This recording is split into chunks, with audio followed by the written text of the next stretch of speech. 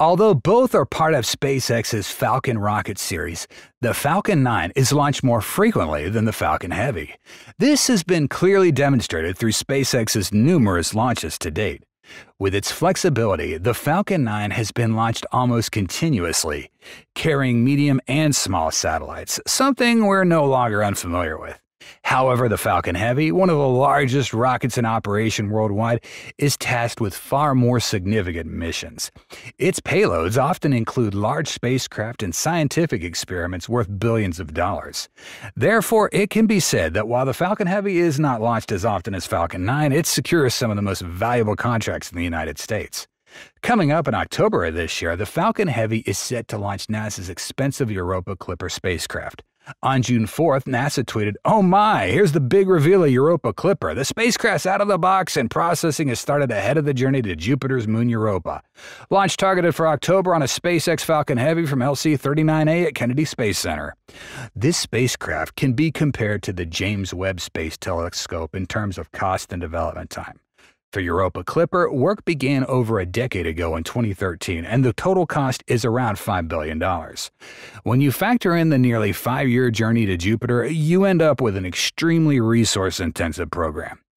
This mission marks a significant milestone in space explorations, focusing on studying the potential for life on Jupiter's moon Europa.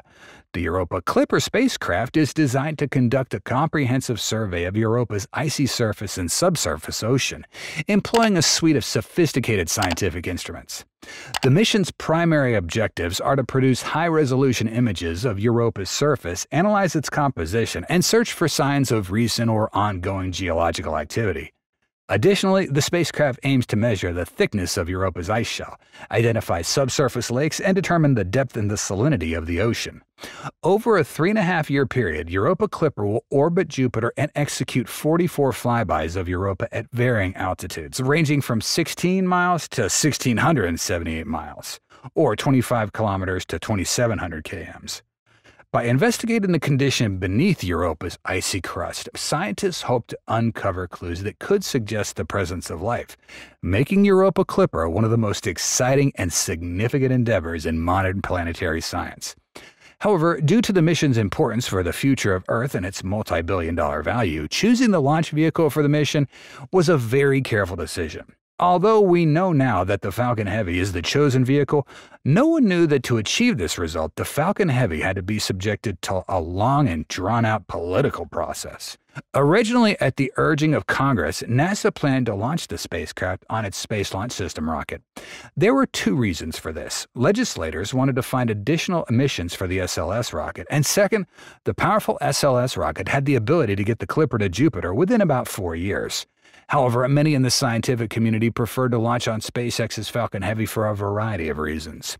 For one, SpaceX offered launch services at a steep discount compared to the SLS rocket, which the White House estimated would cost more than $2 billion for the Clipper mission.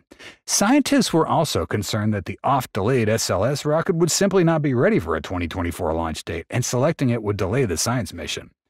While politicians continued to insist that NASA should launch Clipper on the SLS rocket, three different events finally forced legislators to relent.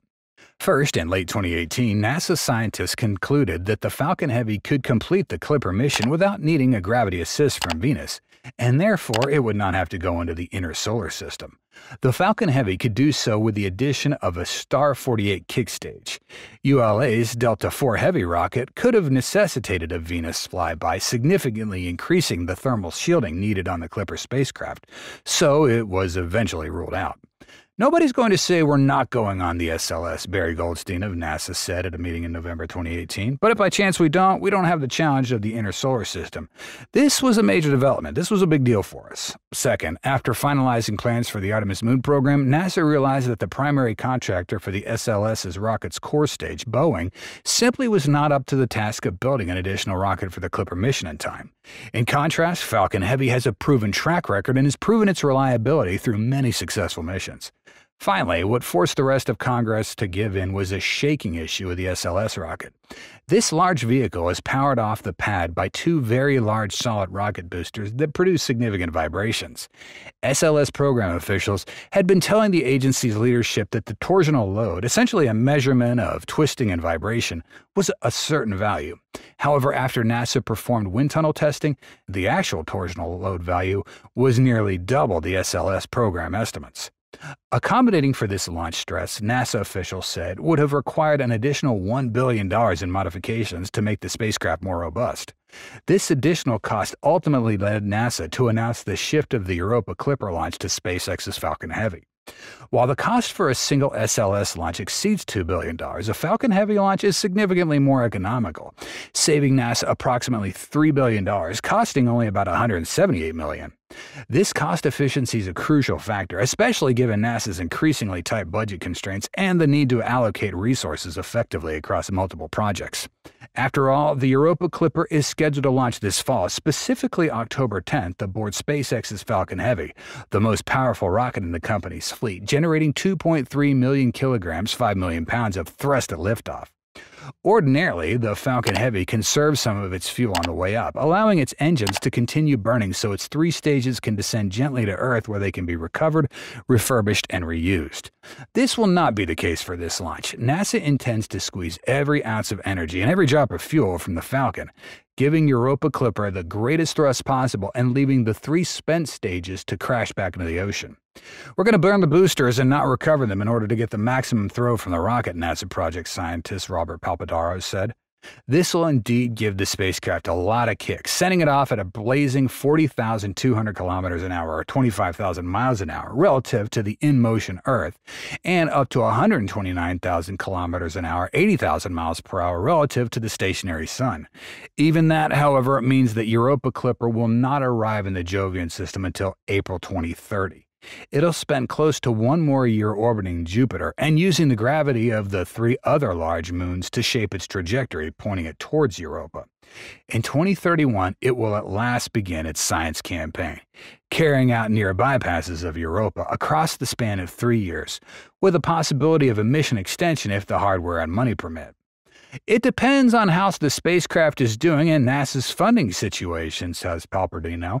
We'd have to determine the goals for an extended mission, but I imagine we will find some areas that are especially interesting that we want to go after more intensively.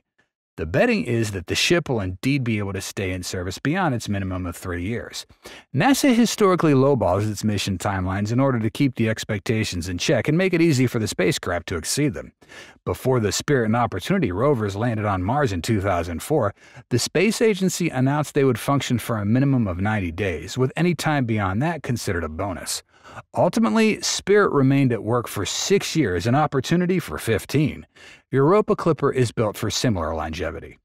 The main body of the spacecraft is 5 meters tall, but when its power generating solar panels are extended, it stretches 30 meters, about the length of a basketball court, to maximize the energy it collects from the distant sun. It's equipped with 24 engines, which will allow it to slalom through the obstacle course of Jupiter's many moons, taking precise aim at Europa. The spacecraft is also equipped with nine different science instruments, including wide and narrow field cameras, a temperature measuring system, a mass spectrometer to study the chemistry of both the surface of Europa and its exceedingly tenuous atmosphere, a gravity sensor that will determine how much the moon is flexed and squeezed as it moves through its orbit, a magnometer to measure the thickness of the ice shell, and another one that can help determine the depth and salinity of Europa's ocean. No matter what Europa Clipper does or doesn't discover, Culberson's 2015 law means that unless Congress repeals the Europa provision, a landing mission will come next, but that doesn't mean it'll come soon. The space agency conducts what it calls a decadal survey to select missions for the upcoming 10 years, and the next review is not due until 2030, or right about the time Europa Clipper is finally arriving at Jupiter. Planning, designing, and building a lander could easily take another decade. That's all for today's episode. Thank you so much for watching and see you next time.